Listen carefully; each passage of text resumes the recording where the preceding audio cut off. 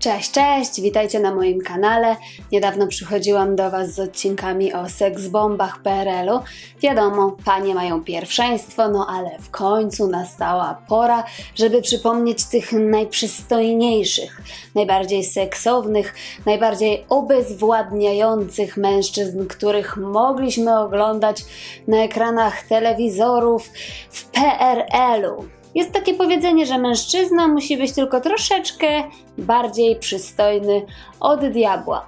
No bo podobno u panów to właśnie nie o wygląd chodzi, ale inne cechy charakteru sprawiają, że są oni dla nas, dla płci przeciwnej, atrakcyjni. Ciekawa jestem, co stwierdzicie po dzisiejszym odcinku. Aha, i pamiętajcie, dzisiejszy odcinek nie ma jednej części, ale trochę więcej, więc jeżeli dzisiaj swojego ciacha PRL-u nie zobaczycie, to potrzeba trochę cierpliwości. Zaczynajmy więc, żeby tej waszej cierpliwości nie nadwyrężać. Na początek Jan Englert. Och tak, jeżeli chodzi o Jana Englerta, to zdecydowanie powiedzenie z tym diabłem to chyba nie do końca się jego tyczy, bo zawsze był przystojny, ale nawet dzisiaj, jako ponad 70-letni facet, wygląda naprawdę oszałamiająco. No, przynajmniej tak, że na pewno w sanatorium byłby szał. Ale cofnijmy się w czasie, ponieważ zadebiutował w wieku 14 lat w kanale Andrzeja Wajdy. Ale przełomowy okazał się być dla niego serial Kolumbowie z 1970 roku, gdzie wcielał się w Zygmunta. Podobno aktor nie lubi, gdy nazywa się go amantem. No tutaj powinnam pozdrowić pana Roznerskiego, który kiedyś bardzo się na mnie obraził, gdy tak go nazwałam w wywiadzie. Więc nie jest osamotniony, ponieważ pan Jan również nie lubił, gdy nazywano go amantem, ale trzeba przyznać, że jednak w takich rolach zwykle go obsadzano. Ma na swoim koncie wiele kreacji filmowych i teatralnych, za które wielokrotnie był nagradzany. Obejmował też stanowisko dyrektora artystycznego w Teatrze Narodowym. Kolejnym przystojniakiem z okresu PRL-u jest Stanisław Mikulski, który podobnie jak jego poprzednik w tym rankingu zaczynał w filmie Kanał Andrzeja Wajdy. Zapamiętano go jednak głównie jako polskiego agenta sowieckiego wywiadu dającego niemieckiego oficera Hansa Klossa z kultowej stawki większej niż życie. Zmarł 5 lat temu. Pedros? Nie. Gajos. No oczywiście, że Gajos. Przecież Janusz Gajos jest jednym z najlepszych polskich aktorów.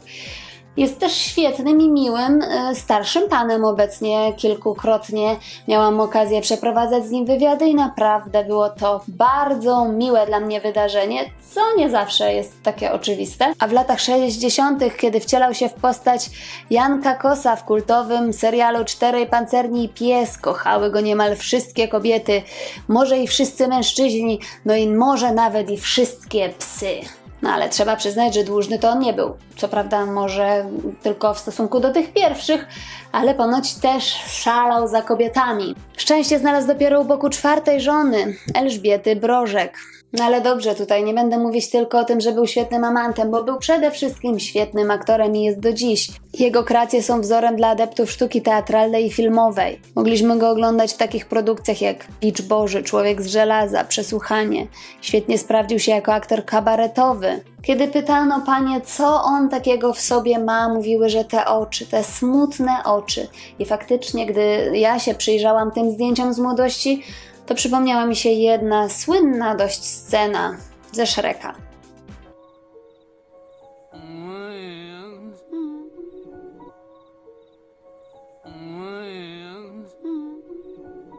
Andrzej Łapicki. Inaczej można by go nazwać łamaczem kobiecych serc. Faktycznie kobiety towarzyszyły mu właściwie przez całe jego życie, no i uwielbiały go nie tylko te przed ekranami, ale również te, które spotykał na żywo. Swoją karierę zaczął na deskach teatru, szerszej widowni, dał się poznać z udziału w wielkich produkcjach filmowych, takich jak Jak daleko stąd, jak blisko, Ziemi obiecanej, Wszystko na sprzedaż, Weselu. Grał także w serialu M jak miłość. Wokół jego osoby oczywiście zrobiło się bardzo głośno ze względu na jego ostatnie małżeństwo z 60 lat młodszą Kamilą Ścichowską ale kiedy przypominam Wam losy przeróżnych aktorek, faktycznie nazwisko Łapickiego jakoś bardzo często się pojawia i to zwykle wtedy, kiedy mówię o potencjalnych związkach, o romansach, Coś w tym jest. Kolejny natomiast aktor na Eł to Tadeusz Łomnicki, który również był uwielbiany przez panie. W ankiecie Tygodnia Polityka z 98 roku na największych aktorów XX wieku zajął pierwsze miejsce. Wszystkie panie, które głoszą tak popularną tezę, że mężczyzna zaczyna się od 1,80 m, od razu zaznaczam, że ja tak w ogóle nie myślę, e, będą tutaj musiały się zastanowić, ponieważ faktycznie Tadeusz był uwielbiany przez kobiety, a był niski, ale za to wynagradzało im jego głębokie spojrzenie, wszystkie zrzucone z, ze stóp obcasy. Nazywany był genialnym potworem z uwagi na swój ponadprzeciętny talent i perfekcjonizm na scenie. Na swoim koncie miał ponad 50 ról filmowych, a także ponad 100 teatralnych, z których wiele uznawane było za prawdziwy przejaw geniuszu. Leszek Teleszyński to kolejny pan, którego tu wspomnimy. Aktor nigdy nie narzekał na brak powodzenia, ale prawdziwe uwielbienie przyniosła mu rola przystojnego ordynata Michorowskiego w filmie Trendowata. Wtedy stał się prawdziwym bożyszczem kobiet, ale zadatki na to miał już dużo wcześniej. Huczało bowiem już w szkole teatralnej o tym, jak bardzo dziewczyny chciałyby, by spędził z nimi trochę czasu, a podobno nawet i kadra była zainteresowana spędzaniem czasu z tym młodym przystojniakiem. Jego znajomi twierdzili, że na namiętne romanse nie pozwalały mu tradycyjne wychowanie, które wyniósł z krakowskiego domu oraz nieśmiałość. Daniel Olbrychski, czyli creme de la creme, bo przecież ten pan ma na swoim koncie naprawdę wiele kultowych ról. Przez wiele osób uważany jest za kultowego aktora, który został odkryty w 1963 roku, gdy odegrał rolę Korala w filmie Ranny w lesie. Podobno pan Daniel był bardzo nieśmiały i aktorstwo miało być sposobem na zwalczenie tej nieśmiałości. Dzięki rolom Azji Tuhajbejowicza Panu Wołodyjowskim, no i oczywiście Kmicica w Potopie stał się w latach 70. naprawdę pierwszym ciachem PRL-u. Obiektem pożądania jego urokowi nie oparło się naprawdę wiele, wiele kobiet. Chociażby w tamtym okresie wielka gwiazda, już wtedy Maryla Rodowicz. Miał trzy żony i kochanki, te o których wiemy, no i te o których pewnie wie tylko on sam.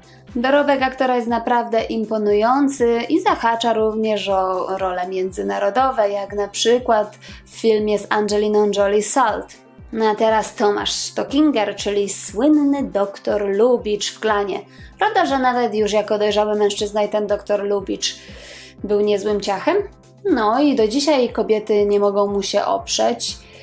Chodzą takie pogłoski, że lubi młodsze partnerki, ale jeżeli przeniesiemy się w czasie, to jednak dowiecie się, że naprawdę kiedyś wyglądał no co najmniej tak samo dobrze jak dziś. Wszystko zaczęło się w 1981 roku od filmu Znachor, w którym młody aktor wcielił się w postać hrabiego Leszka Czyńskiego. Oprócz wielbicielek, ta rola przysporzyła mu również innych ról, otworzyła drogę do kariery, więc grał w serialach Dom, Kariera Nikodemadyzmy, Rycerze i Rabusie, a wszystkie kobiety oglądały to z wypiekami na twarzy. Roman Wilhelmi mówiono o nim, że jest niesamowicie utalentowany. Myślę, że to też bardzo stanowi o atrakcyjności mężczyzny, jeżeli jest mistrzem w tym, co robi, mistrzem w swojej dziedzinie. I o tym aktorze mówiono, że był mistrzem, mówiono, że tak naprawdę kilka jego ról to były dokonania na miarę Oscara, gdyby tylko mm, oczywiście były te role odegrane w fabryce snów. I faktycznie podobał się, mimo że nie był aż tak przystojny jak wcześniej mm, prezentowani przeze mnie panowie, ale był za to charakterystyczny, łatwo rozpoznawalny. I oczywiście największą sławę zdobył jako tytułowy bohater serialu Kariera Nikodemadyzmy, a także Alternatywy 4. Bronisław Cieślak to nasz polski agent 007 no, wiem, że Rafał Zawierucha, co prawda, już utytułował się jako polski James Bond.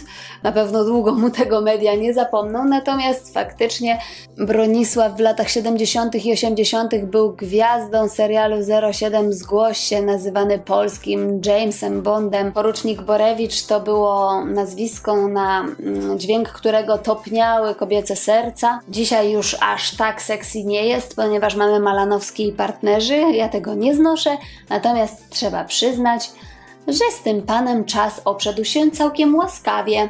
I na dziś to już wszyscy, których chciałam Wam przytoczyć, ale, ale nie powiedziałam jeszcze ostatniego słowa. Czekajcie więc na kolejny odcinek na moim kanale, bo jeszcze naprawdę kilku zacnych mężczyzn należy tu wymienić. Ale na dziś już Wam bardzo dziękuję. Do zobaczenia.